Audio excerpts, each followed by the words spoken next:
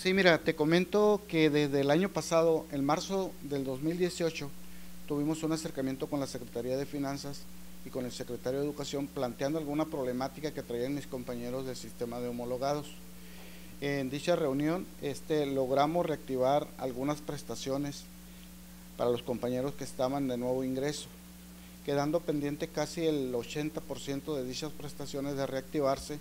y el compromiso del gobierno del Estado, y así tenemos que reconocerlo, era que a partir de enero se pudieran reactivar dichas prestaciones a todo aquel compañero de nuevo ingreso al sistema de homologados.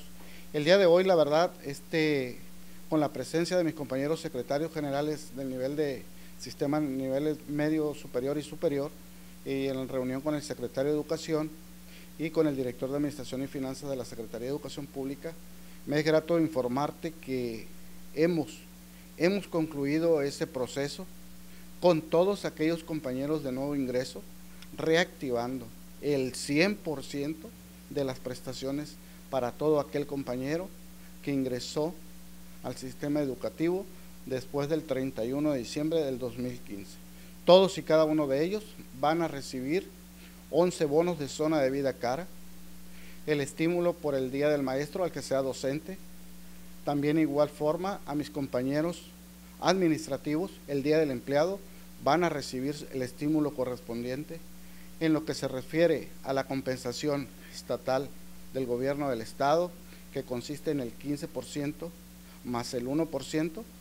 también les informo a mis compañeros de nuevo ingreso, a los docentes, que a partir del primero de enero del 2019 recibirán dicha prestación nos pidió la Secretaría de Educación Pública que en base a, trabajo de nómina, que pudiéramos recibir esa retroactividad, mis compañeros de nuevo ingreso, de la compensación del gobierno del Estado, a más tardar en la segunda quincena del mes de febrero. Para mis compañeras y compañeros administrativos del nivel medio superior y superior, también de nuevo ingreso, te informo que la compensación ahí es del 20%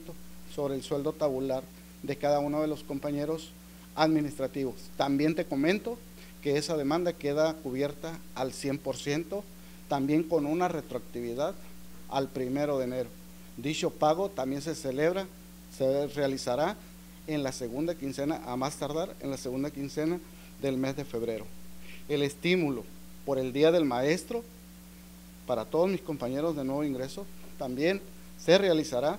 en dicha fecha que está establecida que es como un estímulo el 15 de mayo. Y para mis compañeras administrativas y administrativos, también reciben un estímulo por el Día del Empleado en el 21 de julio. Dicha prestación también les informo que ha quedado totalmente saldada, o sea, dicha prestación ya está activada y se realizará en los términos y en los tiempos que así lo marca la calendarización de pagos de la Secretaría de Educación Pública todas y cada una de las prestaciones